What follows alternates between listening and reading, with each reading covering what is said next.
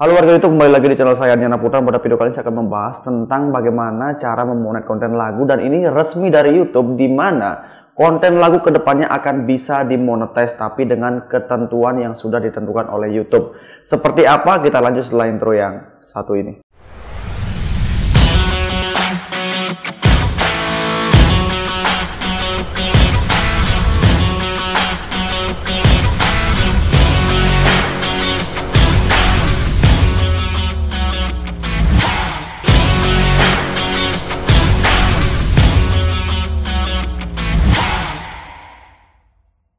Oke, pada video kali ini saya akan membahas tentang update video atau update dari YouTube terbaru, lanjutan dari kemarin update YouTube Short.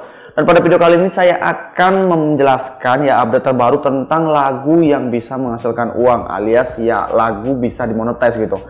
Nah, di video ini saya akan menjelaskan secara ringkas, tapi mungkin ini akan berlaku atau peraturan ini akan berlaku di tahun 2023 uh, apa ya bisa dibilang kayak YouTube itu sekarang menginfokan ke kreatornya tapi meresmikannya itu di tahun 2023 dan saya akan coba menganalisa dari informasi tersebut. So buat teman-teman youtuber atau kreator lagu ini adalah berita yang sangat bagus banget.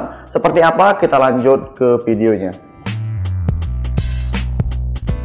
Oke, seperti yang teman-teman lihat di layar, ini adalah peraturan baru dari YouTube yang kemarin diupdate berdasarkan informasi yang saya berikan di video sebelumnya.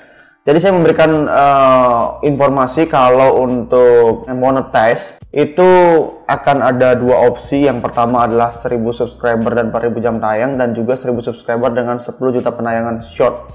Oke okay, ya yang valid dalam 90 hari. Nah, kalau untuk persyaratan ini masih belum jelas apakah kalau kemarin saya kan menganalisa kalau peraturannya bisa dipilih gitu kan dan mudah-mudahan sih seperti itu harusnya memang seperti itu kalau memang dua-duanya digabungin itu kan berat banget ya nggak mungkin lah kalau dua-duanya digabungin seperti itu. Dan selanjutnya yang paling menarik di sini adalah nanti iklannya akan muncul di short. Nah, itu yang kemarin saya jelaskan. Dan pada video kali ini saya akan menjelaskan tentang penggunaan lagu atau cara memonet lagu, baik itu lagu-lagu yang resmi seperti mungkin Twitter, Pen, The Massive, dan lain-lain. Karena kalau yang saya baca dari pengumuman seperti yang teman-teman bisa lihat di layar, memonetize konten yang mengandung musik populer. Mungkin musik bisa Justin Bieber, bisa juga gitu kan. Mungkin bisa juga eh, musik-musik uh, yang memang lagu asli gitu kan. Kalau selama ini kan lagu asli itu nggak bisa dimonetize. Alias kita nggak bisa menghasilkan uang. Buru-buru dimonetize, menghasilkan uang aja nggak bisa gitu kan. Nah pada peraturan baru ini bisa itu. Seperti apa? Coba kita lihat. Penggunaan lagu dari kreator musik. Kreator musik tersedia di YouTube Studio. Nah, kreator musik itu kemarin sempat ada, tapi sekarang udah nggak ada yang saya lihat dan di sini kita bisa melihat atau menganalisa pembagian hasil dan lain-lain. Dan mungkin ke depan ini akan dihadirkan lagi. Tempat Anda dapat menelusuri, mendengarkan sekilas dan mendownload lagu favorit untuk setiap lagu. Anda dapat melihat opsi penggunaan berikut. Nah, ini ada dua uh, jenis lisensinya nanti. Teman-teman bisa dengerin baik-baik. Beli lisensi, bayar biaya di muka untuk menggunakan musik dan dapatkan pembagian hasil yang sama berlaku untuk konten Anda tanpa musik. Oke, yang bisa saya analisa di sini dan bisa saya telah adalah teman-teman bisa membeli lisensinya dan dimasukkan ke dalam video teman-teman. Dan ketika video teman-teman itu mendapatkan iklan yang mengandung musik tersebut, itu bisa dimonetize dan bisa pembagian hasil. Walaupun kontennya atau lagunya itu lagu asli.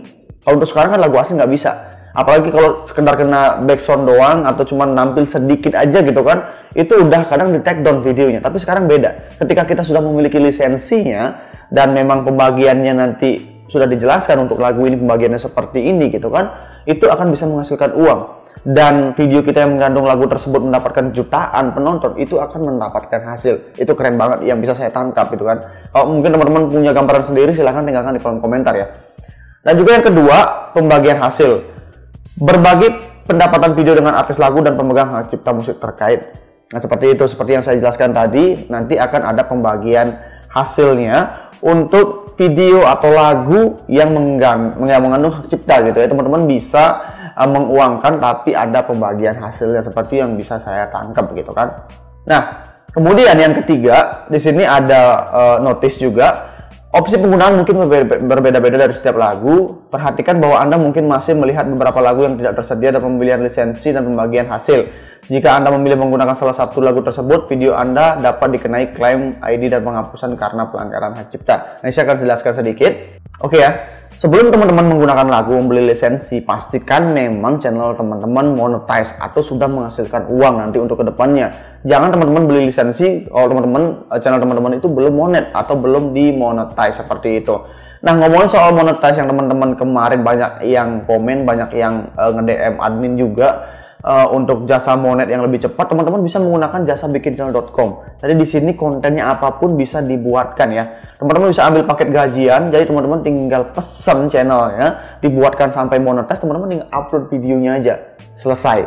Oke ya. Jadi di sini ada namanya paket gajian dari bikinchannel.com. Itu teman-teman terima beres, tinggal request niche-nya apa atau mungkin temanya apa akan dibuatkan videonya oleh tim bikinchannel.com sampai monetize. 1000 subscriber 4000 jam tayang semua dicarikan didaftarin sampai benar-benar diterima monetize. Dan teman-teman tinggal lanjut ngonten aja. Ini keren banget bikinchannel.com teman-teman bisa lihat juga testimoninya. Ini banyak banget ya sudah meloloskan bahkan ribuan channel seperti itu teman-teman bisa pakai jasanya. Kalau udah punya channel, tinggal dilanjutin aja, kontak aja tim bikin channel.com, linknya ada di bawah. Mungkin teman-teman udah punya channel, kak saya udah punya channel, silahkan aja konsultasikan. Nanti harganya pasti akan berubah kalau teman-teman udah punya channel seperti itu. Oke, buat teman-teman yang berminat, silahkan linknya ada di bawah di bikinchannel.com. Oke, saya akan jelaskan.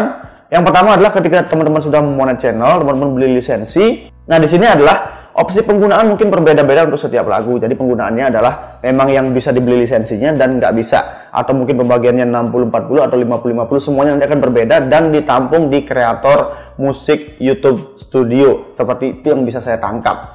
Oke ya.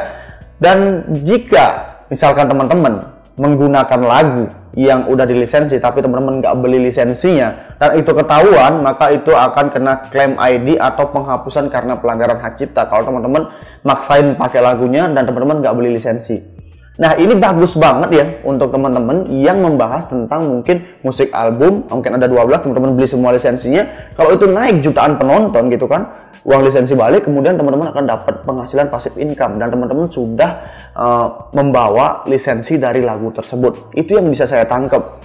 Kemudian kemungkinan saja ini 2023 akan berubah, tapi ini bisa jadi angin segar buat kita yang memiliki konten uh, dengan lagu berhak cipta. Seperti itu.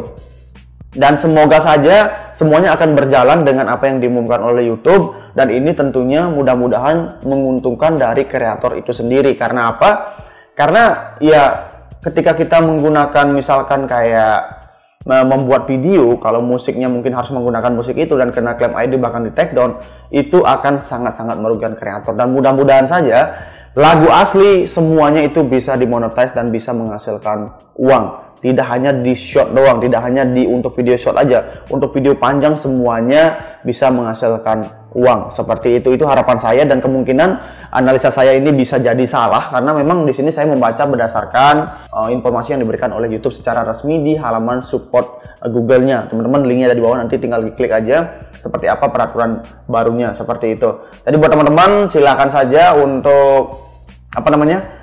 Prepare dari sekarang kalau memang kontennya musik jangan uh, berkecil hati. Mungkin ke depannya akan ada peraturan yang di mana kita wajib membeli lisensi dan kita bisa menggunakan musik tersebut. Dan ini merupakan kerjasama antara YouTube dan juga kreator musik atau mungkin musisi yang memasukkan musik ke YouTube. Seperti itu ini adalah uh, program yang keren banget dari YouTube kalau menurut saya pribadi. Kalau bisa terwujud seperti yang saya jelaskan tadi.